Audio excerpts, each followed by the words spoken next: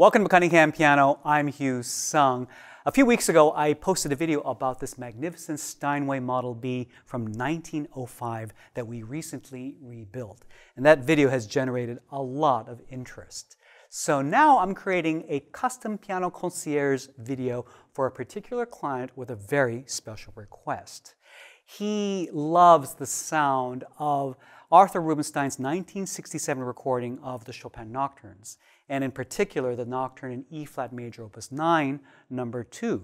So, referencing that recording, I went to our master technicians and asked them to see if they could voice the piano to be as similar to how that piano was recorded, that Steinway was recorded, see if we can get close to that. And I actually studied Arthur Rubinstein's playing style and made some notes and tried to see if I can emulate the way he played. Now, I'm no Rubinstein, but I'm going to give it my best shot, and our technician is giving it his best shot. Let's see how close we can get to Maestro Rubinstein's performance of this gorgeous nocturne. So let's hear this 1905 Steinway B and see how close we get.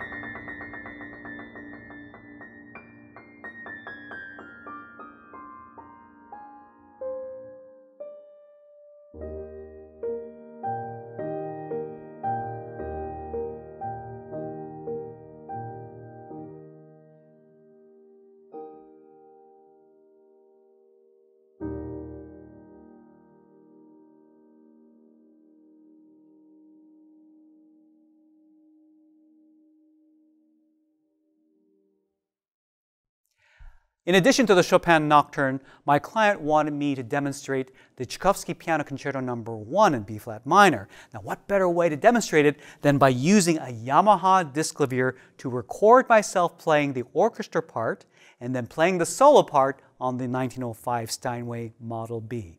Let's give this a listen.